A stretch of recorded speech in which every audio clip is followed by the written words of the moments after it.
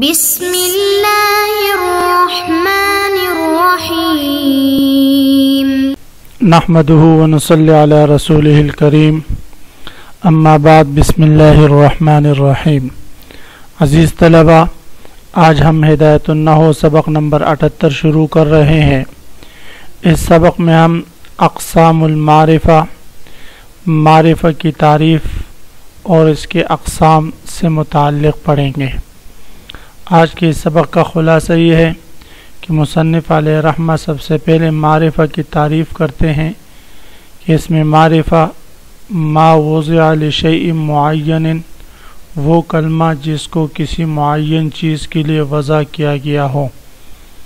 اس میں معرفہ کی سات قسمیں ہیں۔ اسماء ضمائر، نمبر دو اعلام نمبر تین اسماء اشارات نمبر چار اسماء موصولات، نمبر پانچ معرب باللام، نمبر چھ معرب بالاضافہ اور نمبر سات معرب بالندا عزیز طلبہ خلاصے کے بعد اب ہم آتے ہیں۔ کتاب کی طرف سب سے پہلے ہم عبارت پڑھیں گے، الخاتمۃ فی سائر احکام الاسم ولواحقه غیر الاعراب والبناء وفيه فصول، فصل الاول۔ اعلم أن الاسم على قسمين معرفة ونكرة. المعرفة اسم وضع لشيء معين وهي ستة أقسام. المزمرات والأعلام والمبهمات أعني أسماء الإشارات والموصولات. والمعرف باللام والمضاف إلى أحدها إضافة معنوية والمعرف بالنداء والعلم ما وضع لشيء معين لا يتناول غيره بوضع واحد. وأعرف المعارف المزمر المتكلم. نحو أنا ونحن ثم المخاطب نحو أنت ثم الغائب نحو هو ثم العلم ثم المبهمات ثم المعرف باللام ثم المعرف بالنداء والمضاف في قوة المضاف إليه والنكرة ما وزع لشيء غير معين كرجل وفرس. أب مصنف علیہ رحمہ خاتمہ ذکر فرما رہے ہیں۔ تو فرماتے الخاتمہ تو فی سائر الاحکام الاسم۔ خاتمہ اسم کے تمام احکامات سے متعلق ہے۔ و لواحق ہی اور اسم کے ملحقات کے احکام سے متعلق ہے۔ غیر الاعراب والبنائی سوائے مورب اور مبنی کے۔ غیر الاعراب والبنائی یہ احکام کے لیے صفت واقع ہے۔ یعنی اسم اور ملحقات اسم کے تمام احکام کے بیان میں خاتمہ ہوگا، لیکن ان احکامات میں اعراب اور بنا کا ذکر نہ ہوگا۔ وفی فصول خاتمہ کئی فصلوں پر مشتمل ہے۔ فصل اول، اعلم۔ سب سے پہلے فرماتے مصنف علیہ رحمہ پہلے فصل میں جان لیجیے، ان الاسم اعلیٰ قسمین کی اسم کی دو قسمیں ہیں معرفت و نکرتن۔ پہلی قسم معرف اور دوسری قسم نکرہ۔ المعرفت معرفہ کی تعریف فرماتے المعرفت اسم وضع لشیء معین۔ معرفہ وہ اسم جس کو کسی معین چیز کے لیے وضع کیا گیا ہو۔ وہی ستت و اقسام معرفہ کی چی قسمیں ہیں المزمرات پہلی قسم اسماء مزمرات ہے۔ والعلام دوسری قسم اسماء اعلام ہے۔ مزمرات مزمر کی جمع ہے اور اس سے تمام ضمیر مراد ہے۔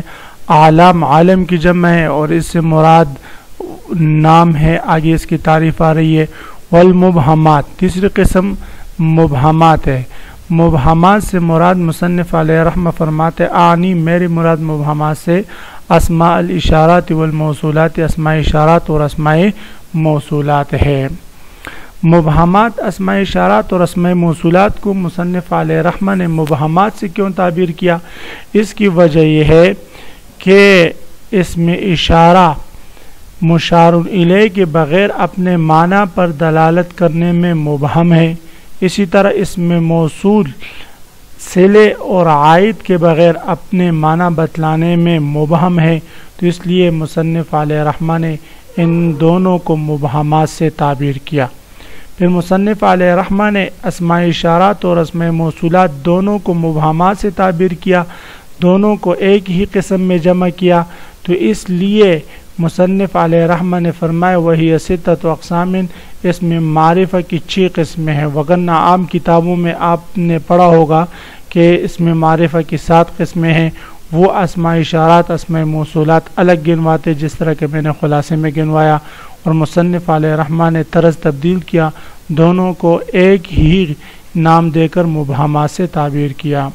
والمعرف باللام۔ چوتھی قسم معرف باللام ہے یعنی وہ معرفہ جو معرفہ بنا ہو لام کے ذریعے۔ جی یعنی کوئی بھی نکرہ جس پر لام تعریف داخل ہو وہ اس لام تعریف کی وجہ سے معرفہ بن جاتے اور اس کو معرف باللام کہتے ہیں۔ مصنف علیہ رحمہ کے ہاں جو ہے نکرہ پر الف لام جب داخل ہوتے اس میں تعریف والے صرف لام ہے، الف لام دونوں نہیں ہے۔ اور بعض نحات کے ہاں وہ دونوں تعریف کے لیے آتے ہیں۔ تو اس لیے مصنف علیہ رحمٰ نے المعرف بالالف واللام نہیں کہا۔ بلکہ المعرف بالنام کہا۔ والمضاف الى احدها اضافت معنویتا۔ پانچوں قسم معرفہ کی وہ مضاف ہے۔ ان میں سے کسی ایک کی طرف اضافت معنویتا، ایسی اضافت جو اضافت معنویہ ہو۔ یعنی مضاف سے مراد اضافت سے مراد اضافت معنویہ ہے۔ اضافت کے ہم دو قسمیں پڑھے، پڑھ چکے تھے، اضافت لفظیہ اور اضافت معنویہ۔ تو یہاں پر اضافت سے مراد اضافت معنویہ ہے، اضافت لفظیہ تعریف کا فائدہ نہیں دیتی۔ المعرف بن ندا اور چٹی قسم معرف بن ندا ہے۔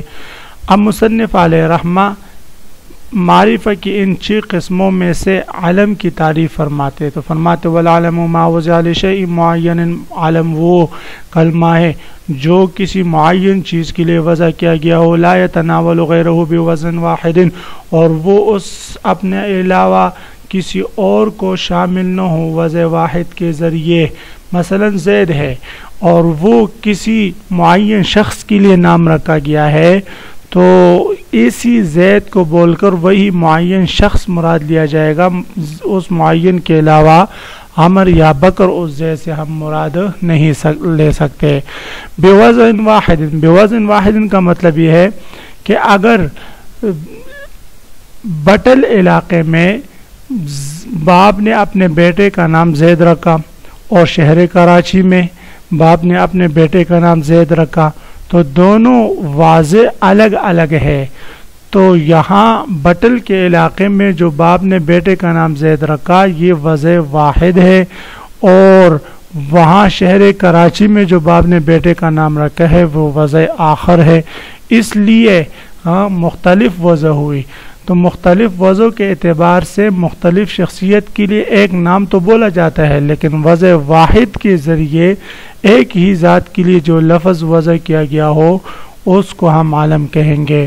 وہ عارف المعارف۔ اب یہاں سے مصنف علیہ رحمہ اقسام معرفہ کے مراتب بتا رہے تو فرماتے المزمر المتکلم۔ سب سے زیادہ معارف میں سے، معرفہ کے اقسام میں سے سب سے زیادہ عارف اور سب سے زیادہ جو تعریف کا محتاج نہ ہو وہ المزمر المتکلم، وہ متکلم کی ضمیر ہے، جیسے انا و نحنو، اس لیے کہ متکلم جتنا اپنے آپ کو جانتا ہے، اتنا غیر کو نہیں جانتا۔ ثم المخاطب، پھر مخاطب کی ضمیر ہے، جیسے انتا ثم الغائب، پھر غائب کی ضمیر ہے، جیسے ہوا۔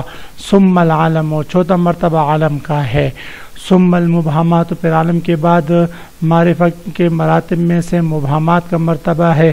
مبہمات سے مراد اسماء اشارہ اور اسماء موصولات۔ ثم المعرف باللام، پھر اس کے بعد معرف باللام کا مرتبہ ہے۔ ثم المعرف بالنداء، پھر اس کے بعد معرف بالندا کا مرتبہ ہے۔ والمضاف فی قوت المضاف الیہ۔ مضاف و مضاف الیہ کی قوت میں ہوگا۔ اگر مضاف عالم کی طرف مضاف ہوا، اضافت ہوا ہے ہاں اور عالم اس کا مضاف الیہ ہے تو اس کا مرتبہ چوتھا ہوگا۔ اور اگر مضاف کا مضاف علیہ متکلم کی ضمیر ہے تو وہ مضاف کا مرتبہ سب سے پہلے ہوگا۔ اگر مخاطب کی ضمیر ہے تو دوسرے مرتبے میں ہوگا۔ اگر مضاف علیہ غائب کی ضمیر ہے تو تیسرے مرتبے میں ہوگا وغیرہ ذالک۔ تو مضاف و مضافلے کی قوت میں ہوتا ہے۔ ورنہ کرا تو ما وزال شعین غیر معین نکرہ وہ کلمہ جس کو وضع کیا گیا ہو کسی ایک ایسی چیز کے لیے غیر معین جو معینہ نہ ہو۔ کسی غیر معین چیز کے لیے جو لفظ وضع کیا جاتا ہے، اس کو نکرہ کہا جاتا ہے، کراجلن، جیسے کوئی بھی مد و فرسن کوئی بھی فرس کوئی بھی گھوڑا۔ عزیز طلبہ، آپ کے حاشے میں محشی نے نکرہ کے کچھ علامات ذکر کیے ہیں۔ یہ بڑی فائدے کی بات ہے، آپ حضرات اس کو بھی یاد کر لیں۔ تو مصنف علیہ، محشی علیہ الرحمہ فرماتے ہیں کہ معرفہ کے علامات میں سے ایک علامت یہ ہے کہ وہ لام تعریف کو یعنی حرف تعریف کو قبول کرتے اس پر الف لام نے تعریف داخل ہوتا ہے۔ دوسرا، دوسری علامت یہ ہے کہ دخول ربہ اس پر ربہ داخل ہوتا ہے اور اسی طرح کم داخل ہوتا ہے۔ اور اسی طرح اس کی علامت میں سے یہ ہے کہ نہ کہ حال واقع ہوگا، تمیز بنے گا۔ اسی طرح لا مشبب لیسے کے لیے اسم بھی بنتا ہے۔ تو عزیز طلبہ آج کے سبق کا خلاصہ یہ ہوا کہ ہم نے خاتمہ شروع کیا اور خاتمہ میں مصنف علیہ رحمہ نے کئی فصلیں ذکر کی۔ فصل اول میں ہم نے معرفہ کی تعریف اور اس کے اقسام پڑھی۔ کل میں انشاءاللہ آپ حضرات سے معرف و نکرہ کی تعریف اور معرفہ کے اقسام سنوں گا۔ واخر دعوانا ان الحمد للہ رب العالمین۔